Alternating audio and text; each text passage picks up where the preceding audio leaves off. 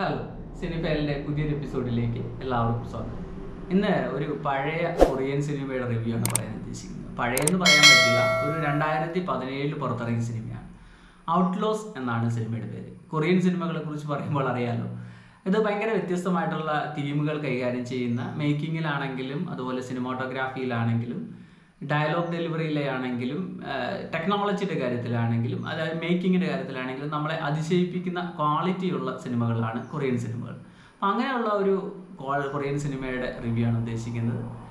ഈ സിനിമയിലെ നായകൻ അദ്ദേഹത്തിന്റെ പേര് ചോദിച്ചു കഴിഞ്ഞാൽ പറയാൻ അല്പം ബുദ്ധിമുട്ടാണ്. പ്രത്യേകിച്ച് നമ്മളുടെ മലയാള സിനിമയിലെ ആളുകളെ പോലെയല്ല. ഇവരുടെ പേരുകൾ പഠിക്കുക എന്ന് പറഞ്ഞാൽ ഭയങ്കര പാടാണ് ഞാൻ പലപ്പോഴും ചെയ്യാറുള്ളത് ഇങ്ങനെയുള്ള സന്ദർഭങ്ങളിൽ ഗൂഗിൾ എടുക്കും മൊബൈൽ എടുക്കും മൊബൈൽ എടുത്തിട്ട് നോക്കുകയാണ് ചെയ്യുന്നത്.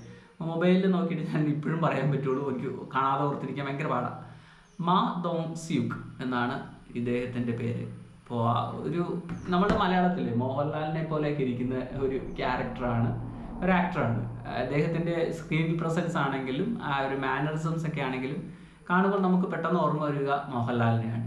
ഇപ്പോൾ സിനിമ ഔട്ട്ലോസ് എന്നുള്ള സിനിമയെക്കുറിച്ച് വന്നു കഴിഞ്ഞാൽ ഇതൊരു ആക്ഷൻ സിനിമയാണ് പക്ക ആക്ഷൻ സിനിമയാണ് ഇപ്പോൾ ഈ ഔട്ട്ലോസിലെ നായകൻ മാക്ഡോങ് ഡ്യൂക്ക് എന്നുള്ള ഇദ്ദേഹം ഒരു ഡിറ്റക്റ്റീവാണ് ആ ഒരു ഡിറ്റക്റ്റീവ് എന്ന് പറഞ്ഞാൽ പോലീസ് ഓഫീസർ തന്നെ.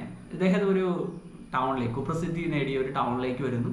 ആ ടൗണിൽ വന്നതിന് ശേഷം അവിടെ ഉണ്ടാകുന്ന കുറേയധികം ഗ്യാങ് വാഴ്സ് തീർക്കാൻ വേണ്ടി ശ്രമിക്കുന്നു. അപ്പോൾ റീസെന്റ് ആയിട്ട് ആ ഭാഗത്തേക്ക് വന്ന ഒരു ചൈനീസ് ഒറിജിൻ ആയിട്ടുള്ള ഗ്യാങ് ലീഡർ ഒരു വളരെ ബ്രൂട്ടലായിട്ട് ഒരുപാട് ആളുകൾ കൊല്ലുന്നുണ്ട്. കുറേയധികം ഗ്യാങ്ങുകളെ ഓവർകം ചെയ്യുന്നുണ്ട് ഏറ്റെടുക്കുന്നുണ്ട്. അപ്പോൾ അവരെ ഒതുക്കുന്നതിന് വേണ്ടിയുള്ള അദ്ദേഹത്തിന്റെ ശ്രമങ്ങളാണ് ഈ സിനിമയിൽ ചിത്രീകരിച്ചിരിക്കുന്നത്.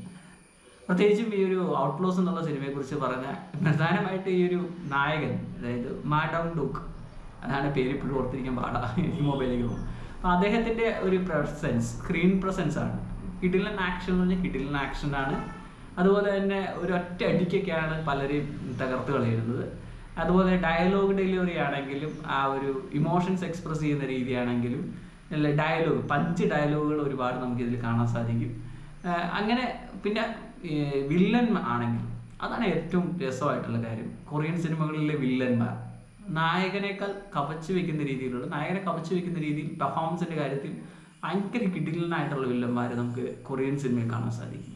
അപ്പോൾ ശരിക്കും പറഞ്ഞാൽ ആ വില്ലന്മാരുള്ളത് കൊണ്ടാണ് നായകന് അത്രയും പ്രാധാന്യം കിട്ടുന്നത് തന്നെ.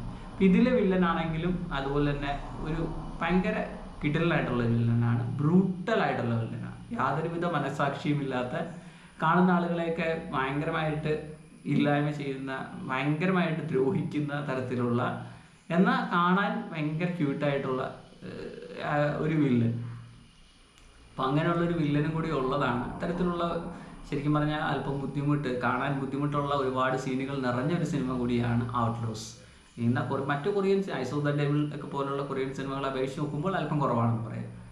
അപ്പോൾ ഈ ഒരു സിനിമയെക്കുറിച്ച് പറഞ്ഞു കഴിഞ്ഞാൽ ത്രൂ ഔട്ട് ആക്ഷൻ ആണ്. അതുപോലെ തന്നെ വയലന്റ് ആയിട്ടുള്ള ഒരുപാട് സീനുകളുമുണ്ട്